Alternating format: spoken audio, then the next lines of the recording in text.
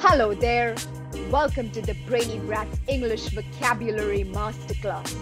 Our favorite boy wizard, Harry Potter, and his brilliant creator, Miss J.K. Rowling, turn a year older on the 31st of July.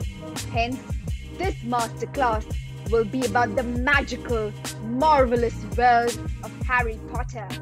Are you ready to expand your lexicon? Let's get started.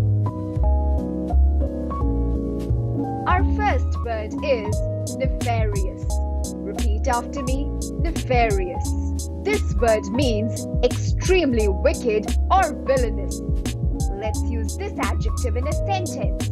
In his first year at Hogwarts, Harry tries his best to prevent the nefarious wizard Voldemort from acquiring the Philosopher's Stone. Our second word is triumphant. Repeat after me triumphant. Someone who is triumphant has succeeded in something and feels very happy about it. Let's now understand how to use this adjective. In the second book, Harry emerges triumphant from his battle with the maleficent basilisk in the Chamber of Secrets. Our next word is efficacious. Repeat after me efficacious.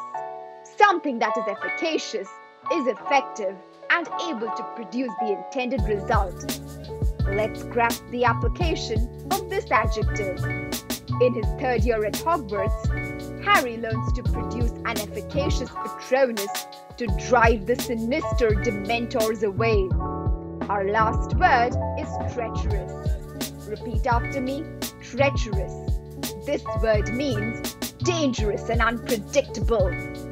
Let's explore the usage of this adjective.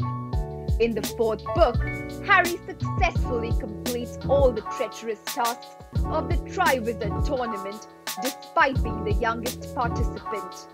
I hope you enjoyed this one of a kind vocabulary masterclass. We'll see you soon.